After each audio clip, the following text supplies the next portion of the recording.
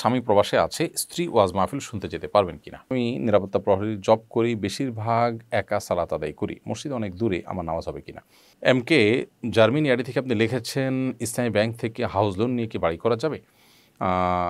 যদিও ইসলামী ব্যাংকগুলো ইসলামী ব্যাংকিংয়ের কথা বলে, কিন্তু সেখানে আমরা জানি যে নানা রকমের সীমাবদ্ধতা থাকে, নানা রকমের ত্রুটি থাকে। সেজন্য এগুলো অ্যাভয়েড করতে পারলে ভালো। যদি আপনি অ্যাভয়েড না করেন, তাহলে সেক্ষেত্রে হাউস লোনের যে সরিয়া স্বীকৃত পদ্ধতি, সেটাই যেন অ্যাপ্লাই হয়, সে যেন ইমপ্লিমেন্ট হয়, সেটা যেন বাস্তবায়ন হয়, সেটি আপনি নিশ্চিত হওয়ার চেষ্টা করবেন এবং অফিসাররা যেন হুবহু ওইটাই যেন করেন যেভাবে করলে সরিয়া সিদ্ধ হবে, সেটি আপনি নিশ্চিত করে আপনি করতে পারেন।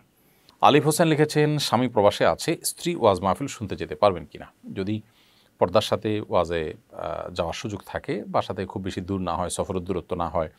নিজের প্রাইভেসি পর্দা, পথে, ঘাটে কোথাও কোনো সমস্যা হবে না, এরকম হয়, তাহলে সেক্ষেত্রে অবশ্যই যেতে পারেন।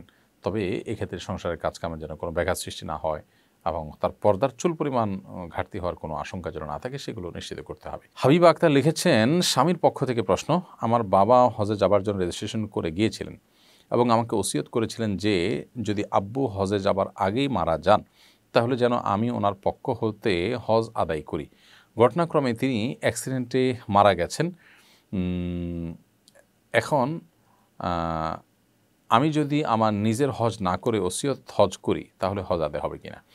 আহ, আপনার বাবা যদি মারা যেয়ে থাকেন এবং তিনি যদি ওসিয়ত করে যেয়ে থাকেন হজ করার জন্য তাহলে সেক্ষেত্রে আপনার নিজের হজটা করে তারপর তার হজটা করতে পারবেন।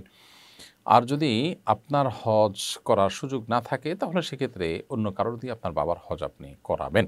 কারণ নিজের হজ না করলে তিনি অন্য আরেকজনের হজ কোনোভাবে আদায় করতে পারেন না। নবী সাল্লাহ সাল্লাম এক সাহাবিকে অন্য আরেকজন হজ আদায় করছেন, নিজের হজ আদায় করা ছাড়া তাকে নির্দেশ করেছেন, তোমার নিজের হজ আদায় করো, তারপরে তার পক্ষ থেকে হজ করো। সারওয়াত আনবার আপনি অ্যাডি থেকে লিখেছেন, আমরা সবাই জানি মেয়েদের ব্রু প্লাগ করা হারাম। কিন্তু আমার সমস্যা হচ্ছে আমার ব্রু অনেক বেশি ঘন। এতে আমাকে দেখতে অনেক বাজে লাগে। এখন এই সমস্যার কারণে আমি অনেক হীনমন্যতায় ভুগছি। আমি কি ব্রু প্লাক করতে পারব? দেখুন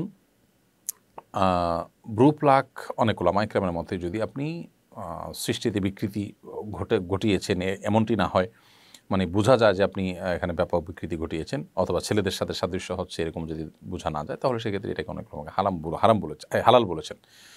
এই শর্ত সাপেক্ষে। তো আপনার এরকম পরিস্থিতিতে যে আপনি একটা বাজে পরিস্থিতির মধ্যে আছেন দেখতে অর দেখা যাচ্ছে, তাহলে সেক্ষেত্রে এটা তো এক ধরনের ত্রুটি বলতে পারেন রোগের মতো।